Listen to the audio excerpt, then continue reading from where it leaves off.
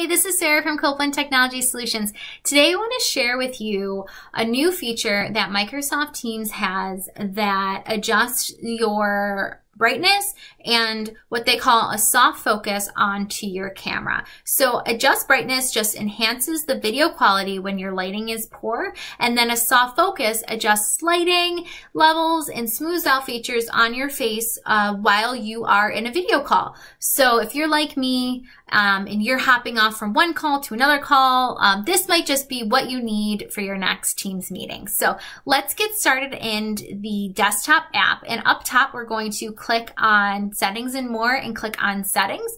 I'm going to turn my camera off real quick so that we can see it in the preview. So click on settings and then we're going to go down to devices and we're going to scroll all the way down till we get to our camera settings. And here we are. Hey guys.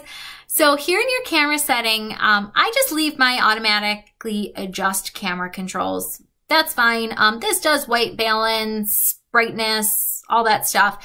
But down here are the two features and these two features you're able to change while you, right before you get on a call and then also while you're on a call, you're able to adjust these as needed. So you can kind of see it's subtly adjusting my light, my brightness on my camera. Um, we're gonna leave this one on and then soft focus. We're gonna turn this off for a second and you can see this is my preview. This is what um, everybody would see on my camera as I get on a call. Um, if we click on soft focus, we're going to turn this dial all the way down. This is having it on um, very, very low. Um, I barely think there's anything there. But as we move this dial up, you can kind of start to see um, my face. It's smoothing out lines. It's adjusting. It's kind of giving a little photoshopped look. Um, just adding that filter. Um, and you can decide, you know, where you want that filter, that dial to be, um, how dramatic you want it to be or if it's just a very subtle.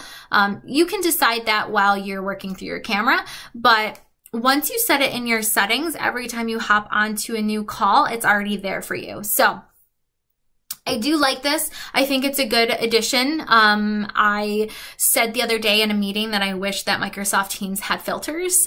Um, so here we are. We have two new features that I'm very excited about. So one of the things I like about it is that it just allows you to look your best while you're performing your best. And I can't wait to hop into a Teams meeting with you guys. So let me know what you think and follow me for more tips and tricks in Microsoft Teams.